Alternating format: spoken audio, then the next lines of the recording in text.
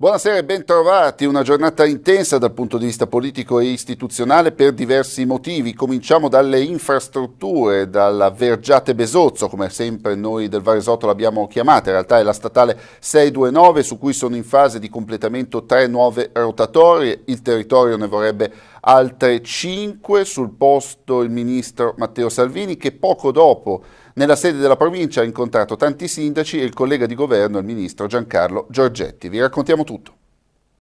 E qui a Villa Recalcati, sede della provincia di Varese, sta per concludersi la seconda tappa di un giorno molto importante per il territorio sul fronte delle infrastrutture, alla presenza di due ministri dell'attuale governo, di tanti esponenti politici, molti tecnici e soprattutto tanti sindaci. In cabina regia c'è il presidente della provincia, Marco Magarini, alcune delle infrastrutture più attese del territorio sono eh, sul tavolo, a cominciare dalle rotonde onde in fase di realizzazione sulla statale 629, la cosiddetta Vergiate Besozzo e proprio lì si è svolta la prima tappa di questa importante giornata con il Ministro delle Infrastrutture eh, Salvini e molti altri partecipanti. Le rotonde già in fase di realizzazione sono tre a Mercallo, Vergiate e Malgesso, un toccasana per il traffico e per la sicurezza grazie all'eliminazione dei semafori, cui Salvini vorrebbe dire addio insieme agli autovelox. Adesso sono ministro, ho un figlio con la patente, una figlia che l'avrà, ci tengo alla sicurezza e alla salute, quindi gli autovelox nei punti pericolosi sono importanti. Gli autovelox su stradoni larghi per fare cassa, no. Per i sindaci della zona, sul posto insieme ad altri colleghi, esponenti politici, governatore Attilio Fontana, si tratta di opere importanti quanto attese era veramente dire, pericolosa, sono successi tanti incidenti, purtroppo anche qualche morto e quindi noi ci aspettiamo che la viabilità migliori, sia più fruibile per il turismo e per tutto quanto. Di rotonde sulla Vergiate Besozzo dovrebbero sorgerne altre 5 per un totale di 8. Senz'altro noi dal punto di vista tecnico sposiamo l'iniziativa di ampliare eh, con altre rotatorie e sostituire gli incroci semaforizzati e puntiamo a, a trovare i finanziamenti.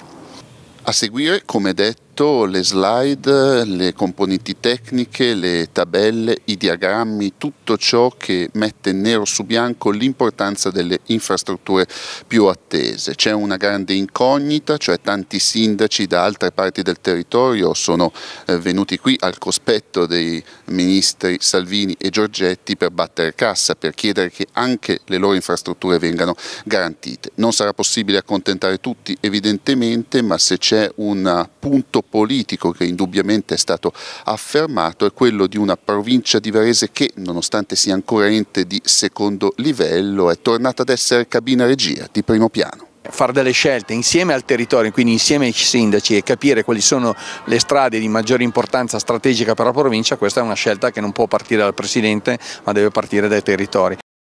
Ma dicevamo che dal punto di vista politico è stato molto eh, intenso questo giorno ed è stato anche piuttosto litigioso. Si è cominciato infatti di prima mattina con una conferenza in cui gli esponenti del Partito Democratico hanno accusato il governo di aver tagliato i fondi per la sanità al punto da compromettere il progetto dell'ospedale unico. In prima linea c'erano il senatore Alfieri e il consigliere regionale Astuti, li abbiamo intervistati.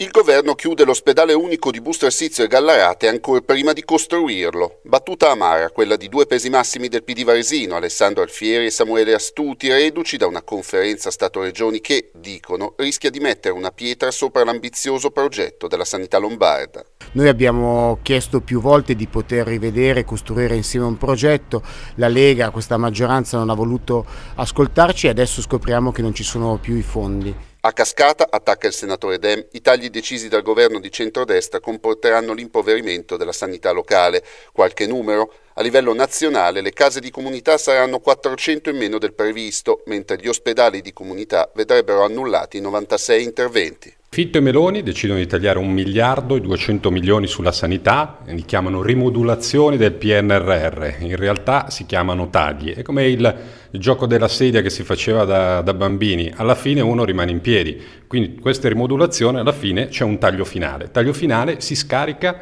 sulla Lombardia, dicono usate i fondi dell'edilizia eh, sanitaria. Eh, peccato che i fondi di edilizia sanitaria erano già stati assegnati, guarda caso, in Lombardia all'ospedale unico di Busto e Gallarate, che oggi rischia di non partire perché non ha soldi. E nel frattempo quei due ospedali rischiano di perdere professionalità, specialità, di non funzionare, di non dare servizi ai cittadini. Questo è il modo di gestire della destra della, la sanità, che è uno dei temi più delicati che interessa i cittadini. Poi a stretto giro è arrivata la replica a distanza, anche piuttosto dura e rabbiosa, di Stefano Candiani, onorevole della Lega, che dice non è vero quel che sostiene il PD, i soldi ci sono, il progetto va avanti. Tutte balle, nessun taglio, così Stefano Candiani, deputato della Lega, risponde alle dure dichiarazioni degli esponenti PD Alfieri Astuti, i quali accusano il governo di aver inflitto alla sanità nazionale tagli che a cascata rischiano di compromettere la realizzazione dell'ospedale unico di Busto Arsizio e Gallarate. Il governo, continua Candiani, non ha fatto altro che prendere e rimettere nella collocazione originaria i progetti che sono stati buttati dentro nel 2020 dal governo governo di allora li ha messi a bilancio rifinanziandoli con fondi nazionali, evitando così di rimanere incastrati nei termini molto severi e stretti del PNRR. Così anche il ministro Raffaele Fitto di Fratelli d'Italia nel suo intervento alla Camera di ieri, nessun taglio, ma solo uno spostamento di risorse. Alfieri e soci dovrebbero invece giustificare l'imbroglio iniziale di aver fatto passare per nuovi progetti vecchi e impantanati da anni. E apriamo una parentesi dedicata alla nostra professione, quella di giornalisti addetti all'informazione, più in generale a una comunicazione che ormai con gli strumenti di oggi può davvero raggiungere chiunque, ovunque, ma potenzialmente può anche partire da chiunque. Qual è il nostro ruolo di giornalisti, soprattutto in rapporto all'intelligenza artificiale e a ciò che può apportare? Tutti argomenti toccati ieri in una bella serata del Rotary Club col presidente dell'Ordine Lombardo. Un conto è la professione, un'altra lo strumento. La prima, nonostante i cambiamenti tecnologici, deve mantenere la barra dritta sulla propria missione che consiste nel dare notizie, raccontare i fatti, sostenere la verità. Così Riccardo Sorrentino, presidente dell'Ordine dei giornalisti lombardo, ospite del collega Roberto Troian, attuale timoniere del Rotary Club Varese, riafferma il ruolo dell'informazione. Dobbiamo ristabilire il rapporto con i fatti non semplicemente le notizie che restano la base del nostro lavoro, per carità, nella maniera più assoluta, ma proprio i fatti, la realtà dei fatti, la ricostruzione della realtà che è un compito estremamente difficile, anche tenuto conto della rapidità del nostro lavoro e ai noi della esiguità delle risorse economiche di questo, di questo periodo. Però questo è il lavoro che dobbiamo fare e inoltre dobbiamo avere sempre maggiori competenze. C'è una domanda inespressa che non si vede nelle, nelle, statistiche dei siti su quali articoli vengono letti o non vengono letti.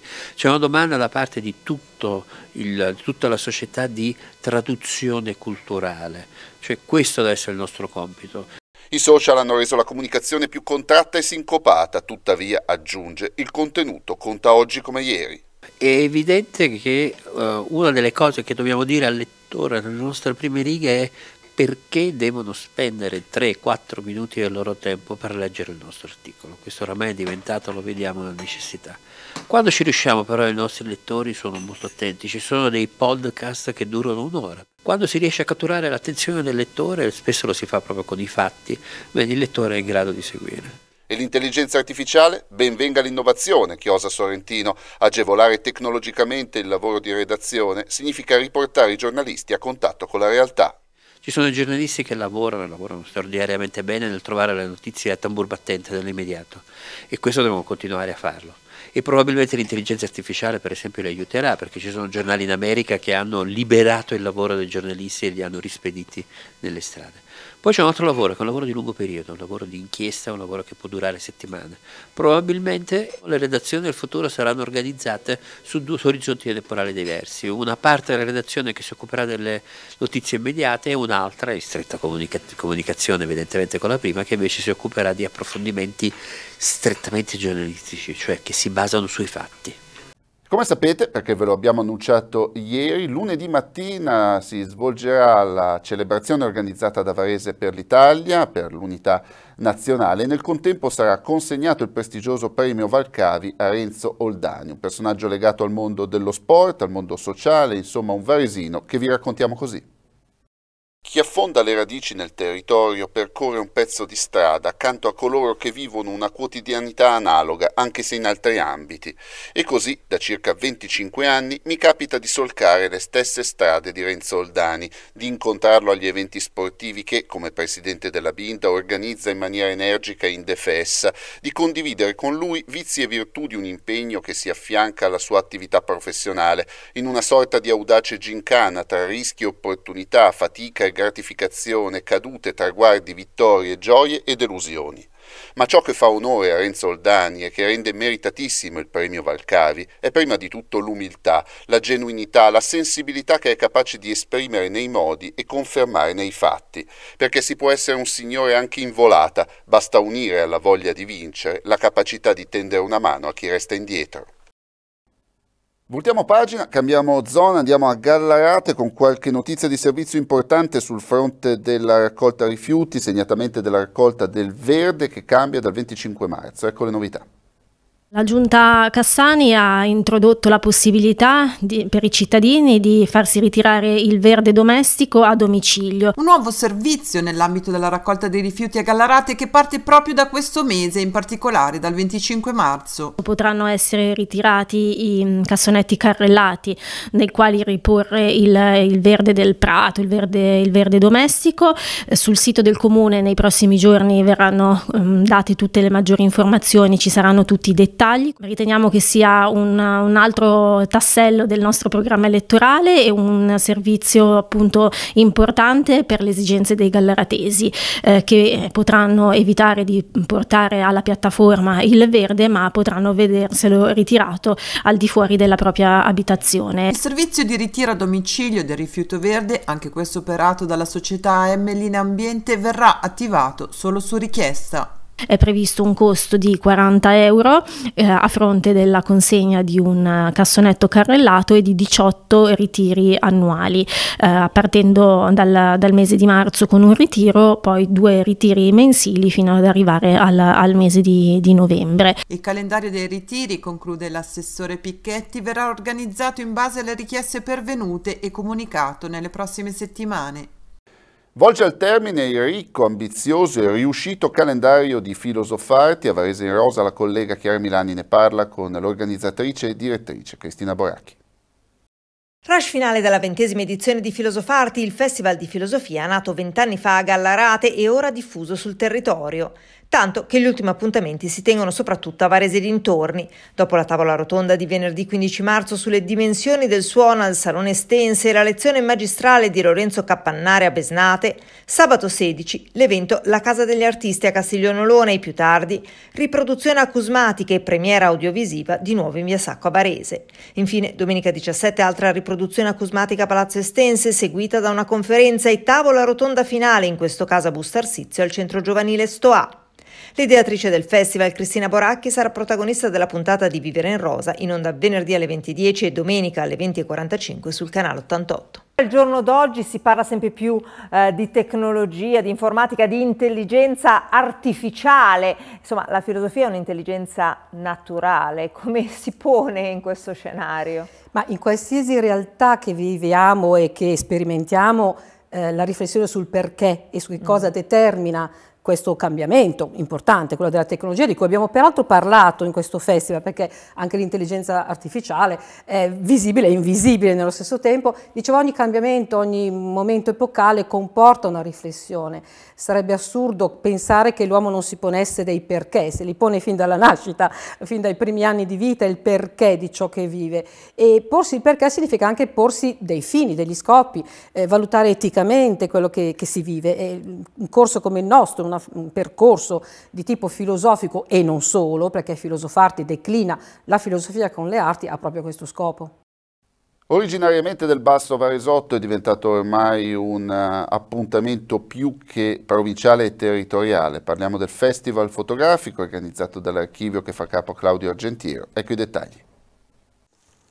20 mostre affiancate da incontri, conferenze, proiezioni, libri, workshop. Questo è il programma della dodicesima edizione del Festival Fotografico Europeo, presentato ufficialmente oggi a Palazzo Cicogno di Busto, alla presenza di Claudio Argentiero, curatore e anima della rassegna, e dell'assessore alla cultura Manuela Maffioli. La manifestazione organizzata da AFIO, Archivio Fotografico Italiano, si aprirà il 16 marzo e continuerà sino al 28 aprile. Cinque comuni coinvolti, il festival parte a Busto, ma in realtà poi ci apriamo al territorio perché è una delle finalità acreditar in quanto eh, vogliamo anche far scoprire i luoghi nel nostro territorio limitrofi diciamo, alla città di Busto, quindi Castellanza, Legnano, eh, Olgiateolona e Cairate. Tutte le mostre sono gratuite, ingresso libero e ci sarà la possibilità davvero di scoprire una fotografia a 360 gradi. Il tema non esiste per una questione di scelte perché vogliamo appunto che ognuno trovi i propri spazi anche mentali per vedere queste foto che in parte sono poetiche, in altri casi documentano dei fatti del passato e del presente portandoci diciamo, un giornalismo e una fotografia autoriale che ci aiuterà a riflettere sulla nostra società. E sempre sul fronte culturale, ventesima edizione del concorso di poesia Sole d'autunno, organizzato a Busto Arsizio. Ecco i dettagli.